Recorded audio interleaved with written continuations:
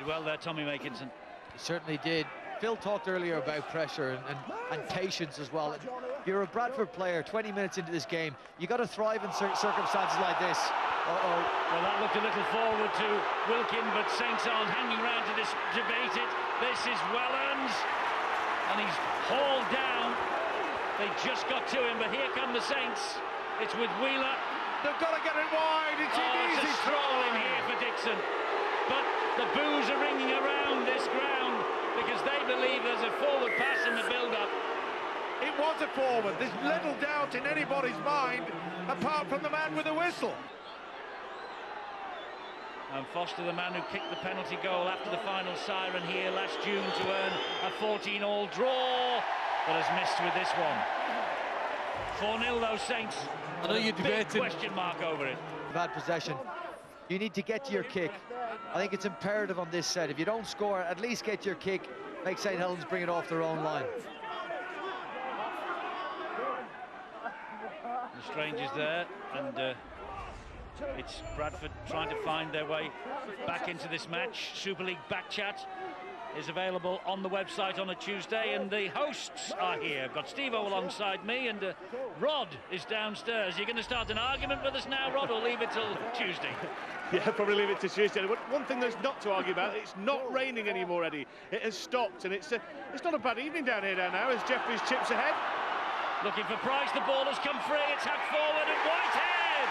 Now then, is this going to be a try? He's going to hand it upstairs. He's going to give it, is Richard Silverwood. That's a good try, and Whitehead is hurt in the process. Tag on two for his team. Paul Sykes trying to drift it towards the post and does so brilliantly. Paul Wellens, the skipper, is arguing with the official, but they've made the decision. Richard Silverwood has said in the course of scoring the try, a foul was indicated therefore lashing out with the boot. It is under report, and this is a very rare thing that we see in rugby league, but a vital opportunity. He's kicked it right from the sideline. The conversion, surely he will add the extra two, and what a bonus it's turned out. An eight-point try. Sykes adds the extras. I think the problem for Foster was that uh, Whitehead had the ball in hand when his foot made contact. I mean, there. Oh, he's got a, he's got a right to swing. But, I mean, but not with his foot, Brian. Surely. Well, well, you can, sure you can clear the ball with your foot. I mean, if it if it's if it's. Uh, boy, St. Helens, uh, as we've mentioned, they really have got to up the tempo. Bradford, of course, they're gaining in confidence. Okay, there's only uh, four points between them courtesy, of course, of that uh, eight-point try. Controversial. Interesting scoreline here. Interesting half-time from Perpignan you just seen going through the bottom of your screen. Hull KR 12-6 up against the Catalan Dragons. Hull KR, the team that were beaten by Bradford last weekend. This is Heath L'Estrange. Should we go downstairs and pick up the half-time news from Rod? Well, thanks, Eddie. Yeah, I mean, the message and the mantra from both coaches very similar, and it's all about conditions out there. And, uh, well, Bradford coach Mick Potter feeling that Saints have played the conditions slightly better than his boys in the first half. And he's just saying play to the conditions, which they're doing here.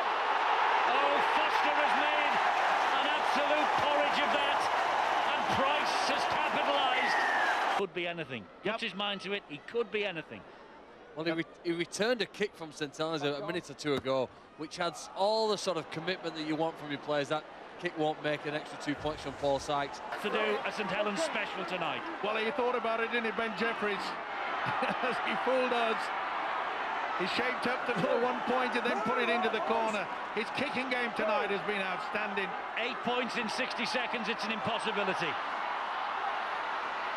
Unless it's an eight-point try, and here goes Meli. Meli down the line. Meli is going to go in. Meli is in in the corner for St Helens. Just gets there. A la Danny Brough at Huddersfield. Bump. Oh.